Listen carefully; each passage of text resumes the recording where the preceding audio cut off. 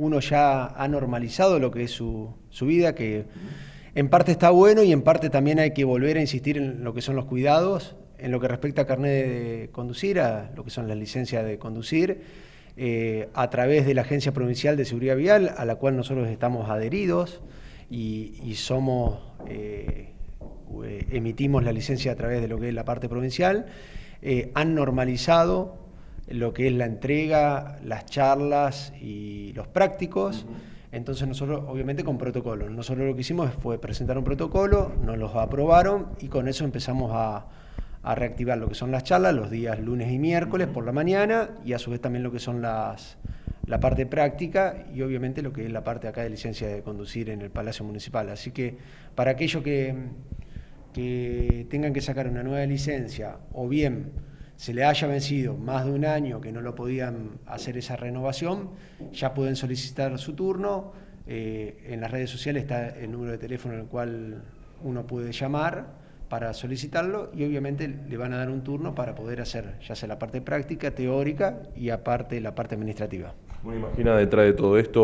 bueno, adhiriéndose a diferentes protocolos que son de rigor, que son realmente de cumplir y entendiendo siempre y cuenta la gente que, bueno,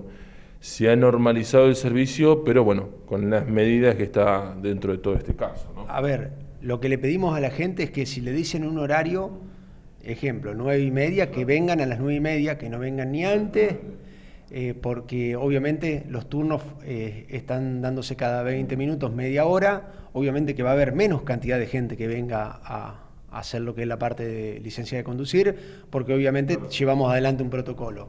Sí lo que le pedimos, que por ahí vemos eh, o notamos en estos, en estos pocos días que, se ha normalizado, es que la gente viene antes, porque obviamente está acostumbrada a venir de esa manera, entonces le solicitamos que venga en el horario que se le ha dado el turno.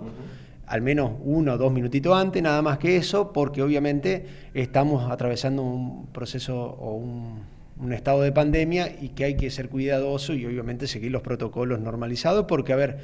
todos estos protocolos que nosotros presentamos en provincia son auditados. No, no quita que en algún momento ellos caigan, eh, vengan desde la agencia, no caigan, vengan desde la agencia y nos vengan a controlar, obviamente, el protocolo. Así que por favor le pedimos eso a la gente y que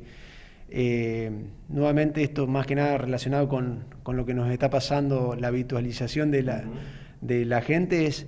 utilicemos el barbijo, el distanciamiento, eh, no compartir eh, lo que sean las bebidas, ya sea mate o, las botellas. Eh, lo venimos viendo de que la gente ha normalizado su vida y la verdad que la hemos normalizado porque estamos trabajando en conjunto, toda la parte gubernamental y obviamente también la gente en sí, pero vemos que también la gente ya se empezó a liberar, empezó a salir y es lo que tal vez en el peor momento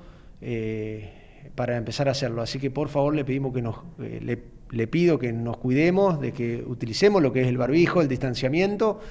y esperemos a que no nos ingrese el virus.